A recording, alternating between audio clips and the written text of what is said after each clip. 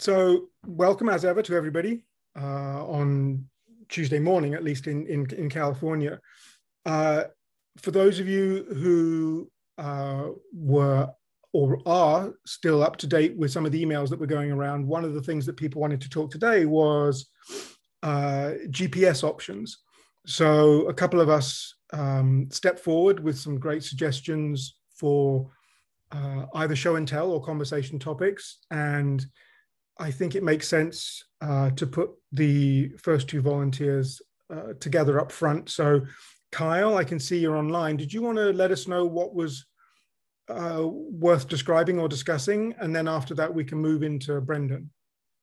Unless, of course, Kyle, you're not quite ready, in which case I think Brendan probably is. Yeah, I, I think Brendan should helmet. I just really had the idea that GPS might be something that um, would be a really useful tool for what we're up to. Great. Uh, Brendan, you said you had some slides. Are they ready to show yet?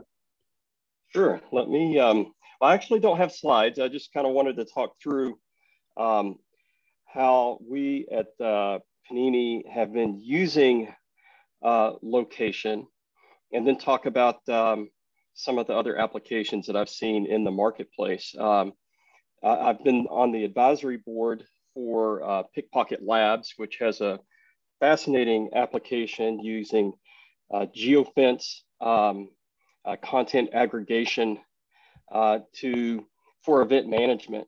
And this enables some really interesting uh, use cases, both for um, news and um, shared um, uh, video and reporting. Uh, we, lots of event management around the World Cup a few years ago. Um, and we'll talk more about that. And I can go into what that technology looks like. Uh, for a few years now, a couple years now, I've been following uh, Foam uh, dot spaces, and Foam has got a really novel um, uh, application where they're using um, uh, they're, they're using stations other than uh, that are not GPS to track and deliver location services and whenever we think about um, uh, events and ticketing, um, as I've spent quite a bit of time uh, thinking about those things um, for uh, Panini's mobile apps, the ha having uh, um, a date stamp, a public date stamp of when you were at a location is actually really important. And, and it's important whether you're uh, running operating drones that are snapping pictures of pipelines and you know do, uh, or observing uh, construction sites or monitoring um, environmental uh, um, other environments. But you also when, when, you um, get that location at least in the context of blockchain technology that location um, that unforgeable location becomes really really important to connect with uh, the assets, uh, what, whatever those assets are, if they're graphic assets, whether it's a, uh, attendance or proof that you attended somewhere or that uh, an actual uh, media was captured somewhere, um, having a, uh, a location that's not spoofable that you can actually tie to a blockchain really enhances the value and the integrity of whatever it is you're doing. So there's lots of applications of that. Then finally, there's the um, um, proof of attendance protocol. I have not studied that one. Uh, I, I, looked at that when they came out, and it looks like the project's made some uh, interesting headway in delivering badges, and they have their own mobile app. Uh, but I, I, can easily see uh, where uh, different badging and and how we can create and enhance um, uh, events and the, the experiences with uh, uh, uh, real life experiences, real life events and attendance with um, uh, you know that type of uh, technology and offering NFTs in connection with events. So anyway, that's just kind of a, a rough overview of, of, the things that I, I wanted to uh, talk about. If we, um, un unfortunately, I don't have the um, um, what I need to display the uh, Panini uh, uh, Blitz app, but Panini has several. Uh, we have three different digital trading card mobile apps. They're mobile free to play apps. Um, you collect free coins by attending and uh, or by opening the app and participating. And inside these apps, you can open packs of cards. These are digital only cards. They're not on the blockchain at this time. They're, they're not NFTs at this time. Um, however, the, the platform was engineered four years ago to support uh, that with atomic uh, uh, digital assets. So uh, we like how we're positioned in that space. But these digital collectibles, um, you can collect the cards. And what we've done is we've created an augmented reality environment, very much uh, like Pokemon Go, where, and we call it Card Hunter. And so there's several mini games within these mobile apps. Um, and in these mini games, we can, um, uh, we, have generated uh, collectible uh, card content, trading card content. These are officially licensed with the NFL, the NBA, and uh, FIFA.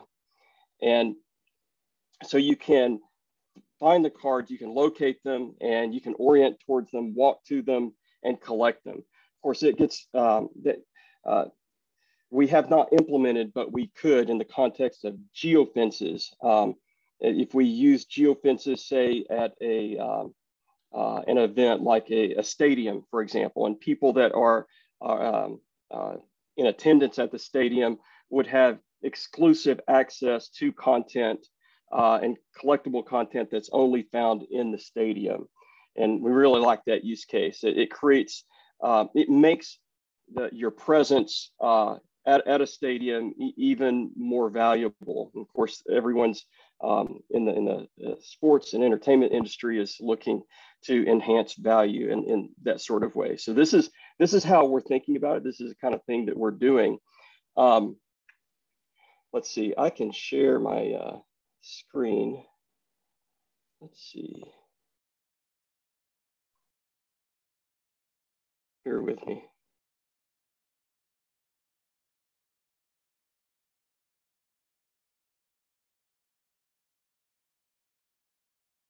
Okay, so what we're looking at now is um, the, the, the uh, Google Play Store where we've got NFL Blitz. And unfortunately, I, like I said, I can't show it to you, but you can get an idea of how the, the cards, this is a, you see a, a picture. I'm sorry if that's small, but there's basically you're opening packs. Uh, it simulates the a pack opening process and users can um, uh, use this in different ways. And of course, we've got different mini games that have like a fantasy component, a player versus player component. Now, those are interesting in their own right, but location services that are offered, um, again, can be connected um, um, to the app and offer it and, you know, create an interesting uh, use case where we're adding value to different uh, uh, locations. Of course, all these assets we'd like to see as NFTs and on the blockchain.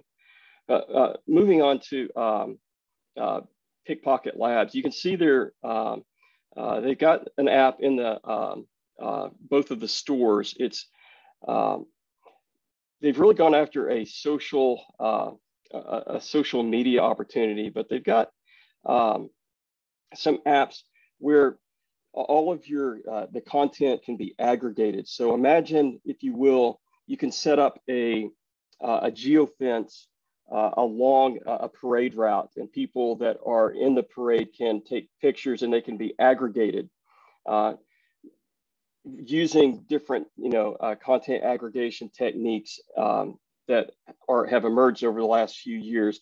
You can curate and deliver uh, fantastic uh, video montages. You can actually um, uh, use um, facial recognition and extract really um, uh, these video montages and feature uh, particular people, perhaps the users of the apps. And again, I'm just kind of covering this space. We'll tie it back into the um, um, the, the, the larger world of, of um, this SIG. Whereas when we think about the uh, both the location and when that's really, really important, we want that secured on a blockchain and the, the content that is uh, can be offered and connected and created as NFTs um, uh, conveys a lot of, of, value. And so the intersection of uh, location, whether we think of it as a point or as a, um, uh, a, boundary on a map. Um, there's also, uh, we have geospaces, which are volumetric. Um, and you know that can that can uh, matter in a lot of different ways, um, depending on you know what floor you're on. One, a lot of people don't realize that the current accuracy of your your mobile phone is um, with the next generation of phones is uh, within 18 inches, um, which is astonishing. Um, I mean, that, that is a really high level of resolution and creates a lot of possibilities. Um, and just uh, uh, kind of an aside, but um, on the, the uh, uh, email thread that came up, there was a talk about privacy, and I'm over here talking about uh, facial recognition and content curation and other things. And so uh, I just want everyone to know that I'm I'm all about privacy. Um, and it, it, seems to me that at least in the Web 2.0 world, privacy was the one of the first casualties in commercializing, um, you know, that stack of technologies. And what we have is an opportunity to uh, change that and and devolve power back to uh, users and individual and how they control their information. I'm very, uh, I'm extremely present and focused to that and all the apps that we're creating and how we imagine the, the standards and, and, and the future we want to create here. So, and I would invite everyone here uh, to think, think about it and, and make that an important part of uh, your strategy because that's something that we as a people, ha- I think, have to stand for. I mean, we've got to stand strong for it uh, or we're going to end up with a lot of compromises and a lot of standards that lead us away from this, you know, opportunity um, to, to control our privacy in a new and really important way. So I, I know it's a lot off topic, but I really wanted to, to put that out there. It's something that's really important to me. Um, let's see. So with, with um, uh, th there's another technology here with PicPocket uh, that goes into ghosting that requires um, uh, location, location services. Uh, so imagine you've got a photo that was taken in a particular location.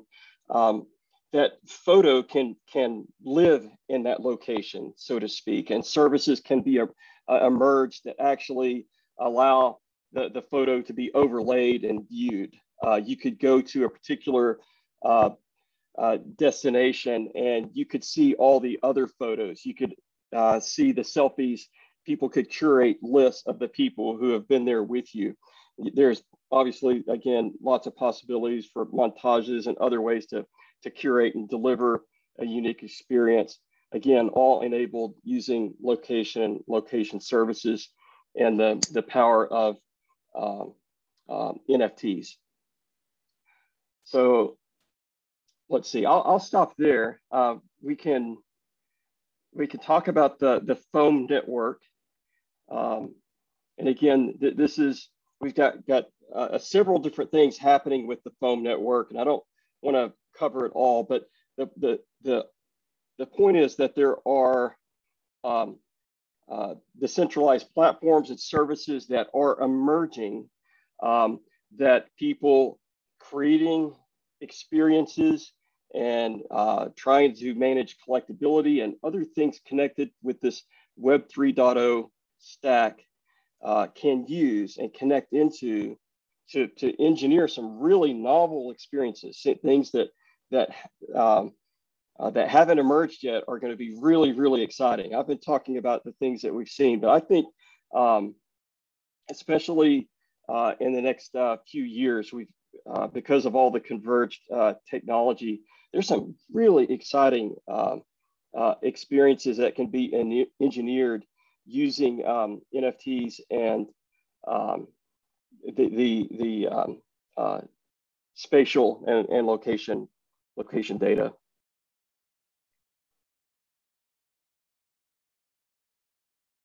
And then we um, we mentioned uh, Poke. This is just one example. I consider this a really um, uh, narrow um, uh, implementation, but basically you're creating a badge, an NFT, and it is uh, connected to spatial data so that you can uh, prove that you have attended somewhere.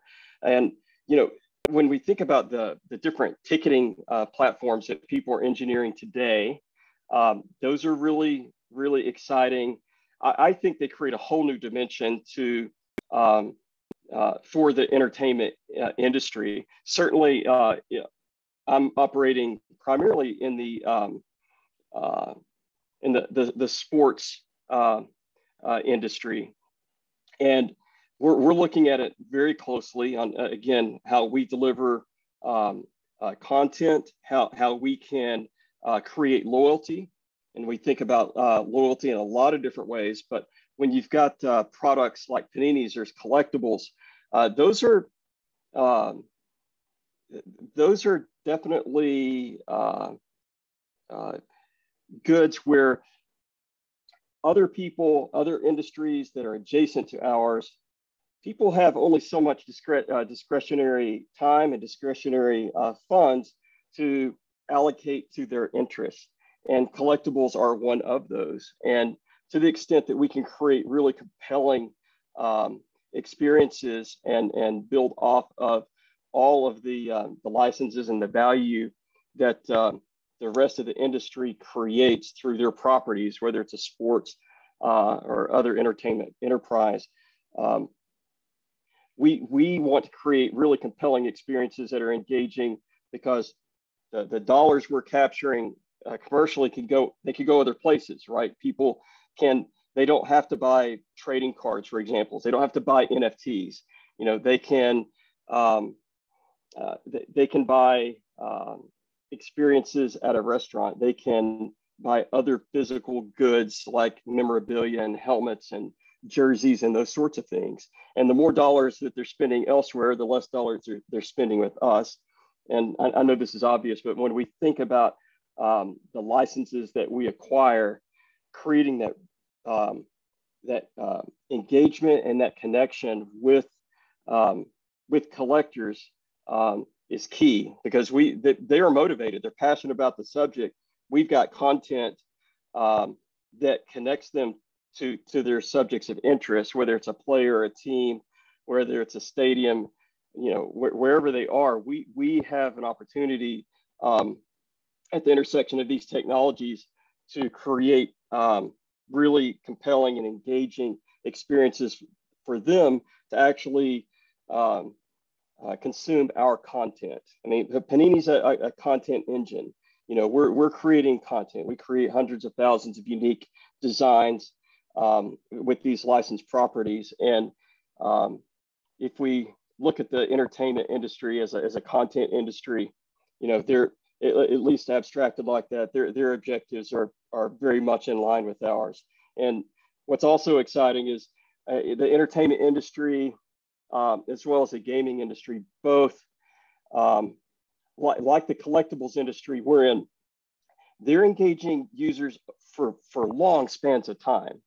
I mean, uh, hours, you know, the, the, the, the with, with, the primary asset, again, in, in the license category, you know, whether it's it's it's the movie, okay, that you've watched three times or four times, you've got hours in it. If it's a game and you spent 40 hours with it, you, are really connected to that uh, um, in, in a way that under other industries and other consumer um, uh, services and products, just they, they don't have that level of engagement. So we're operating um, in, a, in, a, in a world that it's, it's a pretty big um, well, it's a huge design space for, for NFTs and location services. And I'll, I'll stop there. I don't know that I had a lot more to, to add than that. And I'm happy to take any questions. Yeah, do we have any questions? I've got an interesting question. so Apple has recently come out with AirTags. Has any anybody familiar with that? Um, when you think about what it is, it's similar to a tile, right? But it's actually a little bit different. Uh, and when you think about the whole aspect of uh, providing an identity to a thing, this is exactly what Apple is doing, but it is allowing the consumer to provide an identity, a digital twin to anything that it wants to by uh, putting the the AirTag near the object or attached somehow to the object. Um, and it would seem such a simple, novel thing, but actually they're using UWB technology. Um, and I'm not sure if anybody has uh, advanced knowledge of UWB, but it's quite an interesting protocol. Uh, it has the op- ability to replace Bluetooth, NFC, possibly possibly even Wi-Fi in some aspects. Um, but the real key is it gives an identity to something that uh, traditionally um, didn't have an identity to you, but you create your own hub and you create your own identity. And my goodness, that seems to be uh, the way to um, eventually add it to the blockchain. Does anybody understand what I'm talking about here? Yeah, and I was going to add, I was on a, a, a, Twitter Spaces last night with some folks, some analysts, and uh, Robert Scoble. I don't know if you know what Scoble is, but talking about what Apple's doing with that. Apple and uh, Google are basically creating like a 3D model of space and assigning an address, right? So now when you've clicked that tile in space, that address has a, a, a three-dimensional location in the big database that they're building of everything, right? Right. It, it so kind of like the, the, next level beyond. It it it basically makes the imagery. iPhone right. It may it basically makes the iPhone the owner of the iPhone the actual um, the hub of the the network. But uh, nevertheless, the, all those identities and IDs uh, would be very difficult to track. I mean, very difficult to to manage unless you used the blockchain. Uh, so I, I I see that this is another very cool and interesting technology that has kind of uh, has kind of had the sleeper moment and and come in, and people don't realize the significance of what Apple did. Uh, I think it's quite significant, uh, and I guess maybe. Um, maybe I think in in the future UWB technology um, could quite honestly be used uh, for for COVID nineteen contact tracing. Actually, to be honest. Anyway, that's that's off topic. That's off topic. But I just wanted to get the the engines flowing, the minds generating, because uh, you guys, the engineers, I'm just the guy with the with the the vision.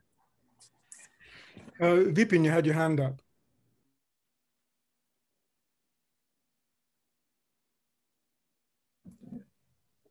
Yes. Uh, can you hear me?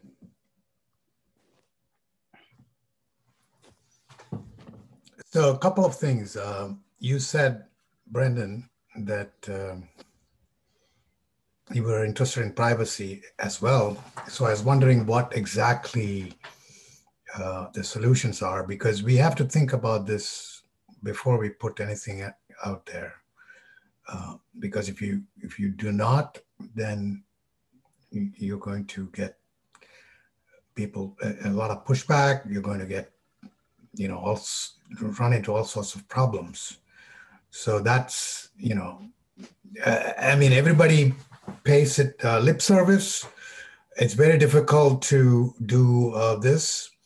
Uh, as you know, differential privacy is a very difficult concept, uh, and that is only for aggregations.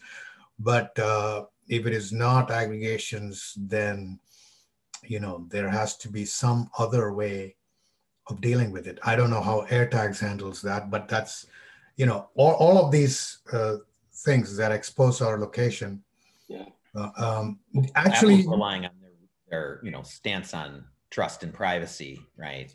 But uh, there's already people uh, writing that uh, they are only, um, you know, basically that it is not really private because you got to you got to expose it to attack otherwise you'll never find where you know what the weaknesses in the system are um, the um, the other thing is uh, you know we we already carry with us this uh, location services meaning uh, the phones are like electronic anklet bracelets. You are actually wearing one, uh, and uh, it tracks.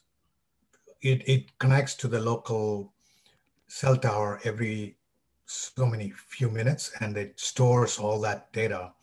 So, I think the the, the point is that the uh, cell cell phone companies do not actually need this data because they only need it momentarily when you you know obviously they have you have to know where where the phone is in order to uh, route a, a call or a signal to it. Uh, but the frictionless nature of storing all this data and the low cost has made it such that they are storing everything. In fact, you can find out where you were in 19, uh, you know, like 2005 when, you know, when you got your iPhone. From, you know, from that point on, every 15 minutes it stores your data. So these kind of things, you know, it's it's very difficult to um, get around it unless you have some kind of regulation and people get. Well, I, I don't know about that, Vipin. I, I think um, we have um, with uh, public key cryptography and the uh, decentralized um, blockchain uh, technologies, we, we have the ability um, to preserve a lot of privacy that's been lost. And it starts with the, um, it, it, starts with the DID, it starts with a, uh, a, uh, an identity. And there's a lot of really important work being done on in that area. Yeah, I know. I'm I'm uh, actually the chair of the identity working group, and Aries, Aries, Aries and Indy were uh, launched from our working group. But okay, uh, the, the, main thing is that they never store the any data on the blockchain. Uh, um, gentlemen, I hope I, I don't want to interrupt, but it's oh. really important. It's really important to distinguish what we're really talking about here. When you're operating in the ISM band, right? Which is Bluetooth and and Wi-Fi. Uh, NFC has its own encryption, right? But how safe is the NFC encryption? Um, I don't know if it's been spoofed already. But we're talking about UWB. I, have done some research. This is very, very. Uh, um, this the, the security on UWB is second to none. So uh, I think Apple's got something here by using UWB and making the phone the the the Internet of Things uh, uh, hub for the user. And I, all I'm trying to say is because uh, Apple's already figured this out. You know, we're talking esoteric things. Apple has figured this out. All I'm trying to say is now the next thing is I don't I don't want to just say Apple has figured it out. So uh, you know, don't worry about it. Don't worry yeah yeah no we should pretty little head about it. it. That is not uh, uh, an attitude that I would take as a scientist. I would say, okay, let us have the privacy guys attack it. Right. Let us right, have right. the uh, let us have a honest conversation about it. I'm not going to uh, give uh, you know all the props to somebody who says, "Oh, I've I've taken care of this." You don't have to. That's not how we work here. I yeah. get your point. I get your. I get so, your. So all I'm saying is, I'm not. I'm not shooting any of this stuff down. I'm. I'm just saying that we have to keep that in mind.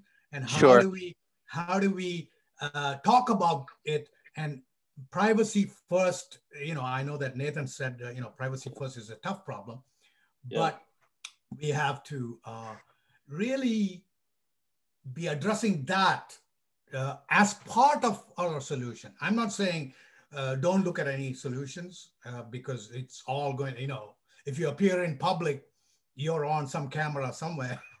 I mean, uh, so that would be that would be in Shanghai, China.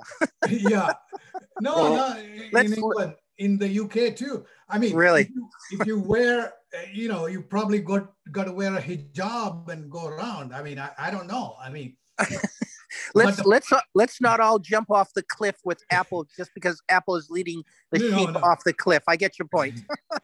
I'm not saying uh, either either way. I'm just saying let us look at this on, honestly and let let us get material on it. Let us uh, look uh, research it and then uh, come up with some uh, stuff uh, along with you know all this stuff that we are excited about UWB sure. and the uh, you know, voxel-based uh, geohashing with. Uh, so I can say at Panini, we've made some really specific uh, decisions around privacy. When we implemented our Hyperledger Sawtooth instance, you know, we had the ability to uh, auto-generate or create um, uh, account names for users or to use their uh, um, their account name in the clear. We chose not to. We chose to use um, uh, uh, public keys, uh, and that way the the user um, could maintain their privacy if they wanted. You know, one thing to think about when we're talking about uh, NFTs, uh, whether they're um, music or um, graphic collectibles like Panini makes, whatever the NFT is, um, the, the, they are bearer instruments. And, you know, when you've got a six figure portfolio of collectibles or music, um, that's something you don't necessarily want everyone in the world to be able to know about you. Um, and, and so we thought through that and we thought, yeah, we, we need to protect the users because we know that we're going to have users that have really large uh, portfolios of these uh, uh, collectibles. Now, unfortunately, the payment gateway process and uh, platforms um, kind of broke our rather idealistic approach. And until we can uh, uh, implement uh, uh, a different uh, payment gateway that doesn't use conventional public payment rails, um, we, we've we're, we're, not whole. We, we like we haven't fully defended the consumer's um, privacy but we certainly made it an important part of how we evaluate and implement our um, our product uh, and our service. And and I guess I would just invite everyone else to to to think along those lines. I mean, at every point um, in your product development um, process, as, as, your engineering solutions, you know, that this is one that historically has been dropped, and and we can't drop it. We we've got to um, uh, be motivated and, and, connected to it. And my, so even what we've done is it's imperfect uh, because of how we had to get to market, but it does not have to stay that way. The, the, the platforms and the technology, the payment gateways, they're all emerging that are going to let us protect uh, users' identity and let them be in charge of whether they want to. So on our platform, a user can actually, they can give themselves an alias. Like if they want um, uh, to be Cooper or Coop, out on, on the, the, the, the, the public platform and in the galleries that we manage for people, they can do that. Uh, that's a choice, uh, but it's their choice. It's, it's not a choice we made for them. Um, I'll, I'll stop there. I'm, I'm interested as well uh, um, uh, to, to hear if uh, uh, more eh, along the veins of our uh, conversation that we started with on um, uh, location services and, and geospaces. You know, one of the interesting things that we're encountering from a, a copyright standpoint, historically, um, uh, when you were licensing from Disney or from the NFL or the NBA or you know whoever the the, the large uh, global licensor was, those are have historically for physical products. Those have been geographically uh, constrained. So you would get um, you, you, would you would license and, and get license that were restricted to the U.S. market or the U.S. market with only big box retail stores.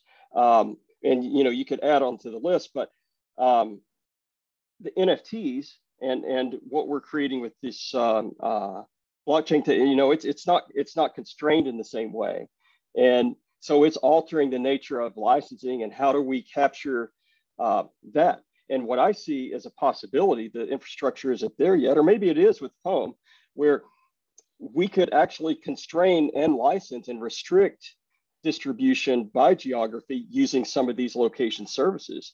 And if I'm a big media and entertainment conglomerate, um, I think that sounds pretty good and for a lot of different kinds of digital only products because some um, uh, distribution channels and distributors are going to be a lot more qualified to operate in um, South America than, than someone else.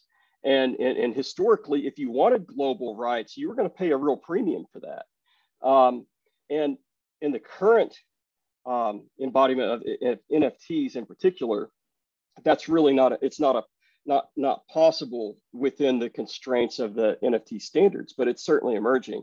I'd be curious to hear um, anyone's uh, take on that. But if, if I'm a media and entertainment conglomerate, that's something that I'm advocating for in um, in uh, in the standards that, that are emerging around um, uh, NFT. It's it's something that I would I would want to uh, study really hard.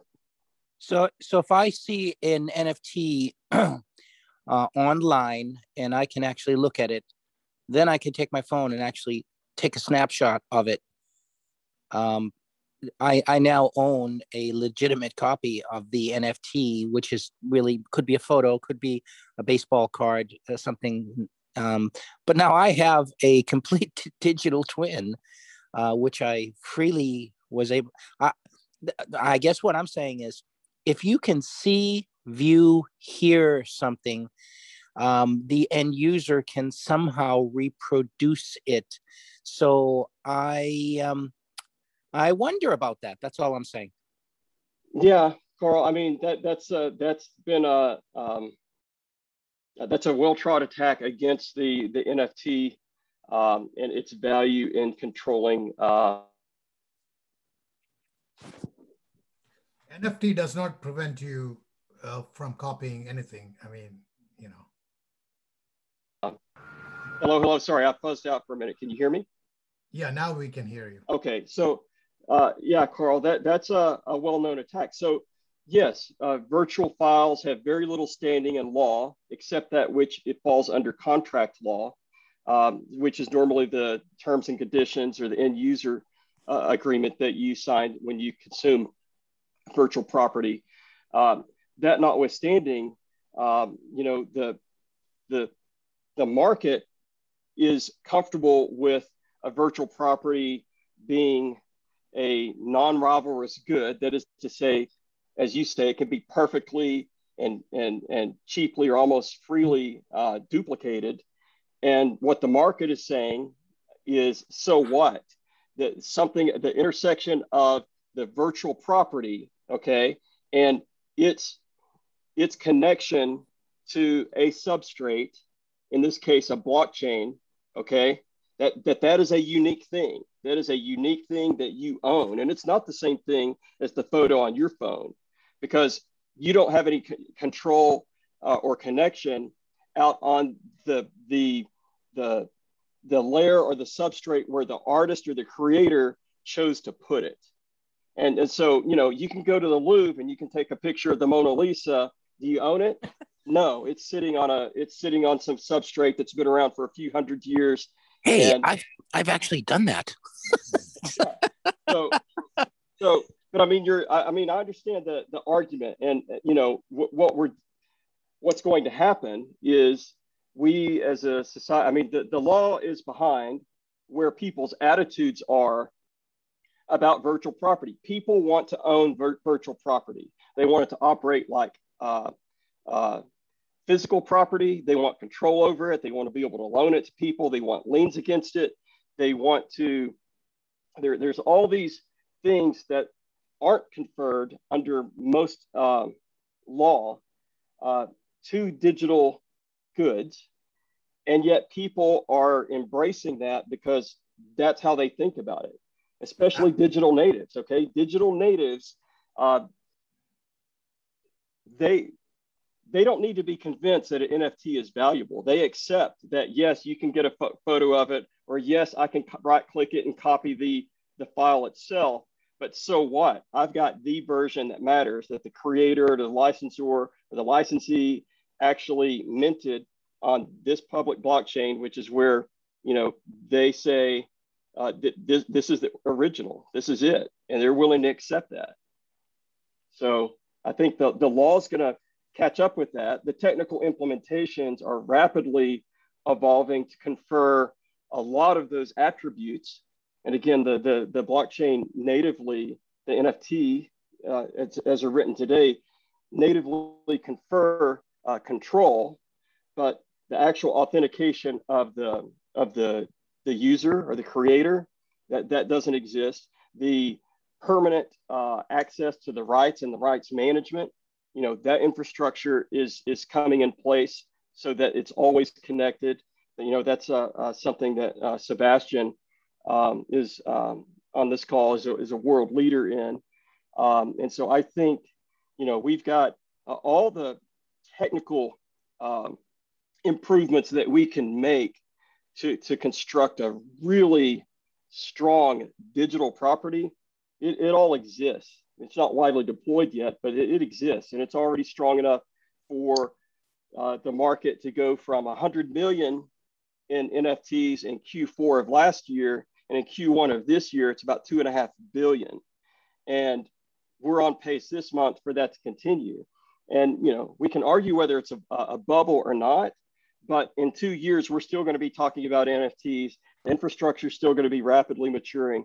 The standards are going to be maturing, and people want virtual property. They just do. Um, absolutely, absolutely. A couple of couple of things here. Uh, one is, you know, there's pure digital property, which is only exists as digital uh, items.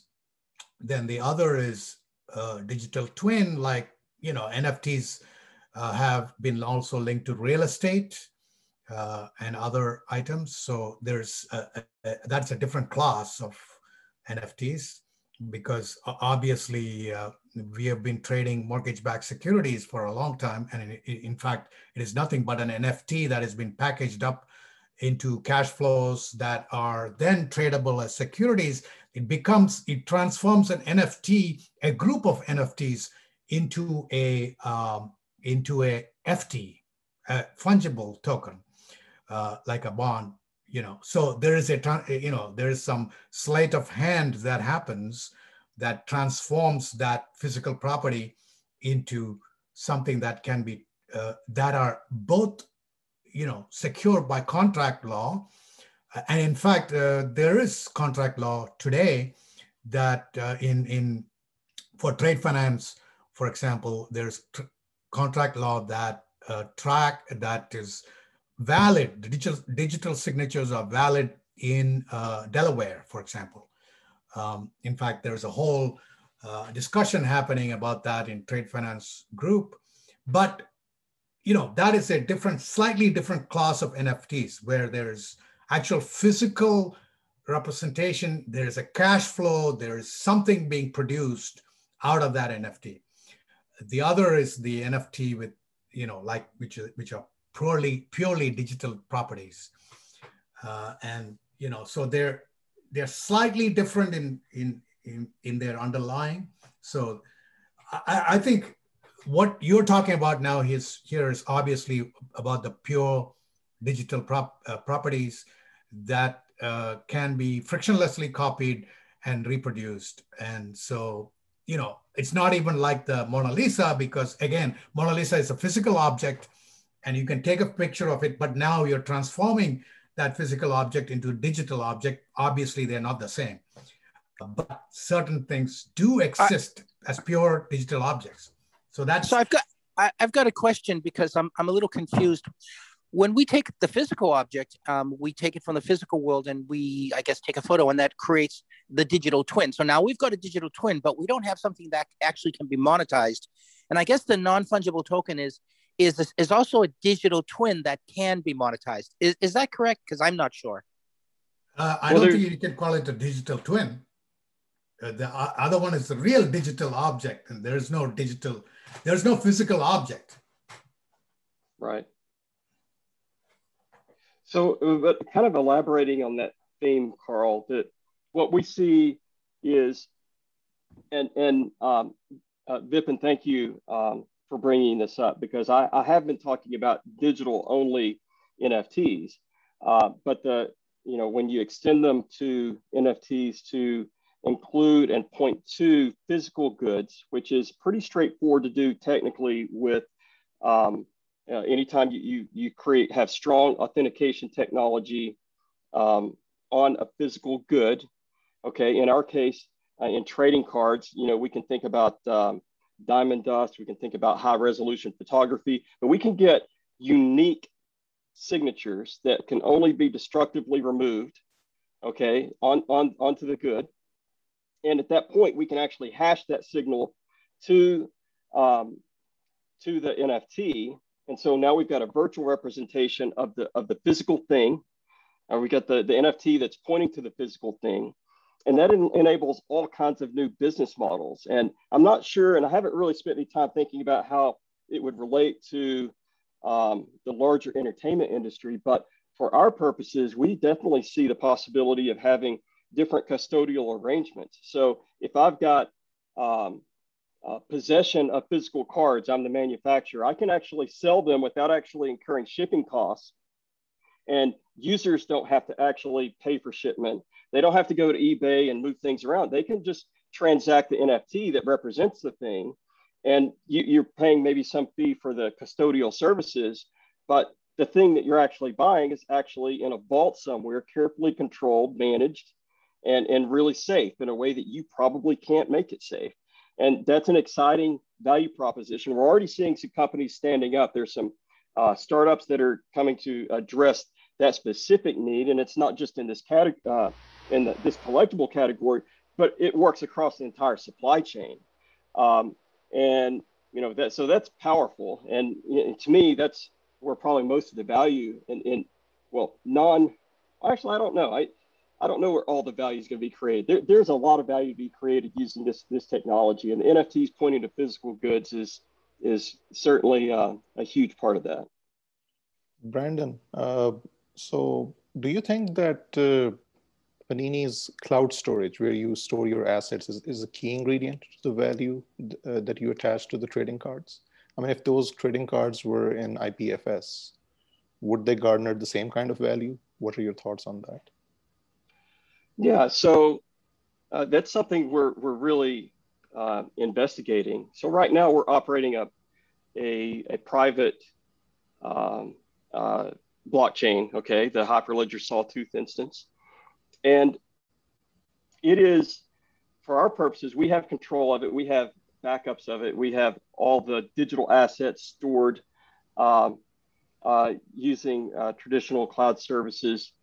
And, you know, when we start thinking about um, gateways and the ability to go to public infrastructure, um, how do you control that? How do you actually manage it? And right now, I don't think it's properly, well, the, the, the current implementations are, are flawed, in my opinion, because IPFS isn't permanent. You don't have people that are, or services that are fully incentivized to maintain the IPFS connection. We've already seen some companies, startup companies, issue uh, digital goods, NFTs, um, that failed. And so the NFT is still on the blockchain. You can open your wallet and you actually have um, in, uh, the token, but the, the metadata, the, the, the asset that is pointed to from the blockchain to an IPFS location is lost or is failed in some way. And so you no longer have the thing that you really cared about or the thing that you experienced. So this this storage, the, the notion of storage of uh, virtual goods, there, there are some interesting um, uh, implementations at IPFS that actually uh, support it. But one of them is the, the location of your um, uh, your your file. Okay, so um, if we think about especially using uh, the, the types of technology as we're imagining it, uh, and Sebastian could probably tell us more about this, but when we think about the, the actual files that you're getting with your NFT, the thing that you experience and you view, you see, you hear, you know, whatever that is, um, if it's been um, properly hashed through the blockchain, then where the, the actual metadata lives um, isn't as important as the fact that that it's present, that, that it's available, because you can always validate with 100% certainty using the hash, using a hashing technology. In Sebastian's case, you've got a feature preserving hash, which confers a lot of value uh, to that hash. But at the point that you've got a hash on the blockchain connected to the NFT, it's all immutable. So if I have the hash, if you, I'm sorry, if I have the file, you have the file, the file sitting out in the cloud somewhere, as long as I know where it is, doesn't matter exactly where it is. And so today we have implementations of NFTs that point to specific file locations. Um, and frankly, I think that's flawed. I think we either need a, a file location oracle or a file location service so that um, if I want to take charge of it, like if I own the Mona Lisa, um, you know, we know where to find it. Uh, we know if they've got, you know, they, they know whether they've got one and they want to put it in the basement. And whatever art I own, I have control of it. And uh, sometimes I give other people custody of it so they have control of it. And I think that's very sensible. And I think those uh, similar models uh, could and probably should prevail in this digital world. Um, and there's the, again, the standards just need to emerge. We have the technologies. So does that does that answer the question, Muhammad? Yeah, no, I mean that that does. Uh, but I think a key element would be to attach an identity to the hash. You know, so the hash can be in the blockchain for sure, and you know, multiple people can have a copy of the actual asset, and they can claim that they own it, right? So there has to be a way, and there are, you know, to attach identity to that hash. Well, that's that's what a that's what the wallet is about. That's yeah. why you have an Ethereum wallet. That yeah. is the part that is the identity piece. Yeah, yeah. I mean, that's uh, that's definitely uh, the value of the wallet is the KYC that goes into creating it. Right? You can right. create your own wallet, um, but you can also involve a third party or other parties in the creation of the wallet. But the same point, you know, it's that's the identity piece, right? Well, you collect you you collect the data of the of the incident the this the change of state of something right? I'm talking about the iot world. And then you pass it uh, to create the identity before uh, it even reaches the cloud before it reaches the blockchain. That's where the security can be uh, co- that's where the consensus can be arrived because you're collecting it at the at the source of uh, of uh, of occurrence. So that's uh, I think I, I get exactly what you're both saying, but I, I'm just saying that you need to if you're going to stop any kind of uh, malicious activities you've got to do it at the edge at the source. That's what my company does anyway i'm jumping back off that's governance right i mean you have you're pushing the the gateway to governance to the edge of the network so you have to make sure that yes yes all adhere yes. to a standard and that's why you have a consensus yep. mechanisms to make sure that everyone's you know agreeing to that standards been adhered to. Um, I have a couple of points that I'd like to make, if that's possible. Uh, yeah, so um, when I go to my gym, um, I go to locker and I put a quarter in, I put my bag in there, and then I get a key. Uh, so I can think of that key like a non-fungible token. So as much as we're thinking of non-fungible tokens as, as art, we can also just view them as just straight up keys, just a whole another form, right? Yeah. And then the other point is um, the asset we're pointing to, they're all existing assets, but um, we can also think about potential assets. So for instance, if somebody goes to an event, um, then they get the right to access all the merch that was part of that music event. So that merch doesn't exist yet, perhaps. That merch could be made to order, uh, but because they have the key, which is the non-fungible token, they can go and they can order that. So we don't have to think about pre-existing stuff. It can be stuff that the person has the ability to make in the future with their NFT. Yeah, no, I think that's a great point. Uh, so to summarize and maybe get back to what the SIG wants to do, you know, there's there seems to be a lot of interesting technologies out there for geotagging and fencing, and there are privacy concerns that are very valid. The question is, do we want to prioritize uh, geotagging uh, in the SIG's agenda right now? or is it something that comes down the road? So I'm thinking purely in terms of an MVP here, you know, for for the uh, music, uh, you know, assets blockchain or media asset blockchain and NFTs. So so I think yeah, a little bit focusing on that point would be of interest. Considering that it's about two minutes to 10, why don't we actually make that the main point for next time? Mm-hmm. So that we've discussed loads of really cool ideas. I've had a great insight into some technologies about like ghosting, about which I didn't know that much at all. And we can decide uh, which, if any, we want to include in the short term, and then which we can maybe include in, in the midterm as things that are doable, but maybe would sort of muddy the waters a little bit right now. One of the things we did, and I'd mentioned the healthcare working group, is when we got organized, we kind of did a survey of the group and asked some questions and did feedback sort of as a group to figure out where to steer things because there's a lot of directions you can go with with this problem space. But it is, you know, finding a consensus around, you know, what are low hanging fruit project problems or problems that we share collectively and then one of the other things you couple with that too is potentially an industry survey. Like what other technology is out there absolutely. like what we want to do? And then i've also gone and got industry analysts to come and talk to the group.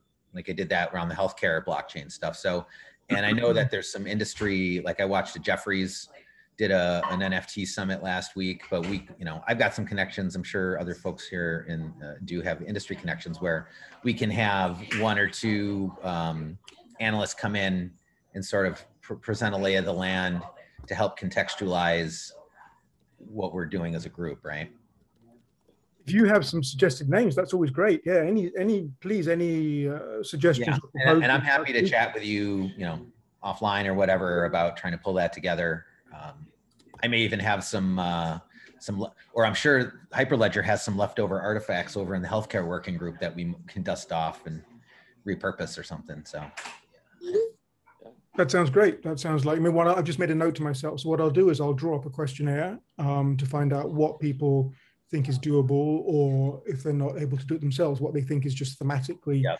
most important. Google form, collect everything, Exactly. it back. Um, maybe share up some responsibilities or find out what people feel they're best suited to do. And then that'll also help us to filter out which of all these very attractive ideas is the most manageable in the short term.